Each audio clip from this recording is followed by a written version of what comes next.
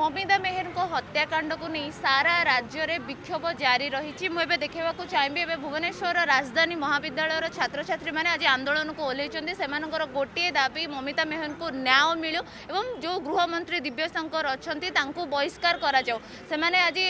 ମହାବିଦ୍ୟାଳୟର ଛାତ୍ରଛାତ୍ରୀମାନେ ଆଜି ଗେଟ୍ ସାମ୍ନାରେ ଧାରଣା ଦେଇଛନ୍ତି ଆମେ ସିଧାସଳଖ ସେମାନଙ୍କର ପ୍ରତିକ୍ରିୟା ନେବା କ'ଣ ରହିଛି ସେମାନଙ୍କର ଦାବି କ'ଣ ରହିଛି ସେମାନେ କ'ଣ ଚାହୁଁଛନ୍ତି କ'ଣ କହିବେ କ'ଣ ଦାବି ରହିଛି ମୋର ତ ଦାବି ଅଛି ଯଦି ଆମ কেউ কলেজ হো কি স্কুল হো যেটি শিক্ষয়িত্রী মানে রহুনা ঠিকরে কি আউ কেউ লেডিজ বি হুম যদি ঠিকরে রহুনা তাহলে আমি কলেজর ছাত্রী মানে কেমতি ঠিকরে রহবু যেতে নাই কিছুটা গোটে নিউজ আসছে নারী মানক উপরে হি আসছে কোটি রেপ কেস হচ্ছে কোটি আউ কেউ কেস হচ্ছে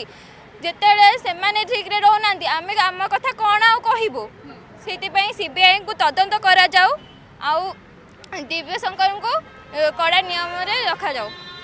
ନିହାତି ଭାବରେ ସେମାନଙ୍କର ଗୋଟିଏ ଦାବି କି ସିବିଆଇ ତଦନ୍ତ କରୁ ମମତା ମେହେରଙ୍କୁ ନ୍ୟାୟ ଦିଆଯାଉ ଏବଂ ଦିବ୍ୟ ଶଙ୍କରଙ୍କୁ କିଭଳି ଭାବରେ ଦଳରୁ ନିଷ୍କାସନ କରାଯାଉ ସେଟା ରହିଛି ସେମାନଙ୍କର ଦାବି ଆଉ କିଛି ଛାତ୍ରଙ୍କର ମଧ୍ୟ ଆମେ ପ୍ରତିକ୍ରିୟା ନେବା ସେମାନେ କ'ଣ କହୁଛନ୍ତି କ'ଣ କହିବେ କ'ଣ ଦାବି ରହିଛି କାହିଁକି ଆଜି ଆପଣ ଏଠି ଧାରଣାକୁ ଆଜି ଆମେ ରାଜରାସ୍ତାକୁ ଓହ୍ଲାଇଛୁ ଆର କାରଣ ହେଉଛି ଯେଉଁ ମମିତା ମେହେରଙ୍କ ଯେଉଁ କେସ୍ଟା ଏବେ ଅଛି ହାଇଲାଇଟ୍ରେ ତାଙ୍କୁ ଯେମିତି ମାରି ଦିଆହେଲା ପୋଡ଼ିକି ତାଙ୍କୁ ପୋତା ହୋଇଗଲା ସେଥିପାଇଁ ଆମେ ଏବେ ରାଜରାସ୍ତାକୁ ଓହ୍ଲାଇଛୁ ତ ଆମେ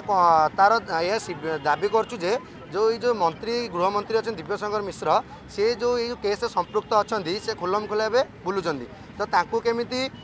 ବହିଷ୍କୃତ କରନ୍ତୁ ଆଉ ନବୀନ ପଟ୍ଟନାୟକ ଯେଉଁ ସୋରି ରହିଛନ୍ତି ତାଙ୍କ ମନ୍ତ୍ରୀମାନଙ୍କ ସବୁ ମାନେ ମନ୍ତ୍ରୀମାନଙ୍କ ଉପରେ ଛତା ହେଇକି ଯେମିତି ସବୁ ସାହାଯ୍ୟ କରୁଛନ୍ତି ତାଙ୍କୁ କେସ୍ ତାକୁ ଚାପି ଦେଉଛନ୍ତି ଆଉ ନବୀନ ପଟ୍ଟନାୟକ ବି ଆମେ ଛାତ୍ରମାନେ ଏମିତି କହିବାକୁ ଚାହୁଁଛୁ କି ଆପଣ ବି ଏ କେସ୍ ବିଷୟରେ କିଛି ବୁଝନ୍ତୁ ଏବଂ ଆକୁ ସିବିଆଇ ତଦନ୍ତ କରି